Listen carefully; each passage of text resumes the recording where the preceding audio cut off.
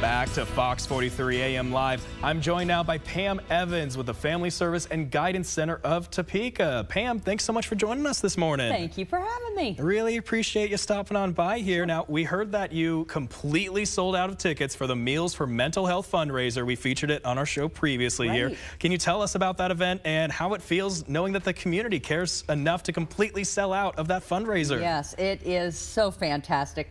Texas Roadhouse has been a longtime partner of ours, and they are amazing to work with.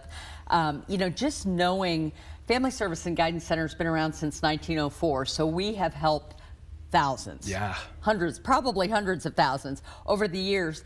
And both businesses and individuals just always rally around helping those that are currently struggling. So we're just blessed and, and so thankful. Yeah, that is so huge. Congratulations to you Thank and the team. you. That's got to mean so much to, to really hit that mark so early on. Yeah. I love to see it. Yeah. Well, what can you tell us here about the upcoming parenting classes and what can people expect from them? Yeah, we have another uh, eight week free parenting class uh, starting on October 28th.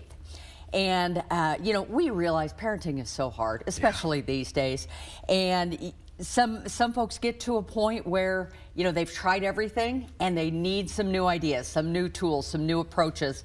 And that's what this class uh, gives them. It meets um, every Monday for eight weeks, uh, starting on October 28th for an hour and a half each time. Pretty incredible here, and we don't want to spoil what the class entails there, but are there uh, any specific arenas regarding parenting that you can tease to uh, those that might stop on by? Sure. So, you know, I mean, it's so stressful, um, and, you know, it just gives parents and caregivers the confidence. And like I say, new tools, new approaches to challenges that continue to um, pop up or maybe new challenges. So, uh, and it gives them things, it gives the, the caregivers ideas that they can leave with and put into action that evening. So, Wow, that- that's helpful. so huge. Yeah. Yeah. incredible. Well, does it cost anything to be a part of that class there? Yeah, I am so thankful to, to say, happy to say that this is free and open to anyone in the community. So if anyone's kind of tried everything and, and needs some new ideas,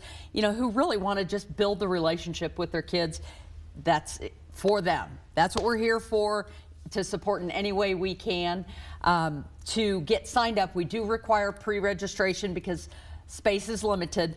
Um, folks just go to fsgctopeka.com forward slash parenting to get signed up. Well, perfect. Well, you mentioned there that it's it's open to everybody, Mm-hmm. but would you recommend that uh, mostly parents partake of this, or would you also give a shout out to caretakers uh, that should stop on by that class as well? Absolutely. You know, anyone who works with kids, um, you know, foster families, grandparents who might be raising uh, grandchildren, anyone who is raising a, a child or teen at this time, it is a, a, great opportunity to, to get some new tools, some new, um, new help, maybe. Yeah, exactly. That's I mean- the best way to put it. Like you mentioned there, any additional resource that uh, people with kids or with you know young people in their lives can use to engage with them on a deeper level, it, it only helps. Yeah, and you know they get to talk to other parents and other caregivers who are in the same boat, but sometimes it feels like you're going it alone. So Yeah. that's another super um, important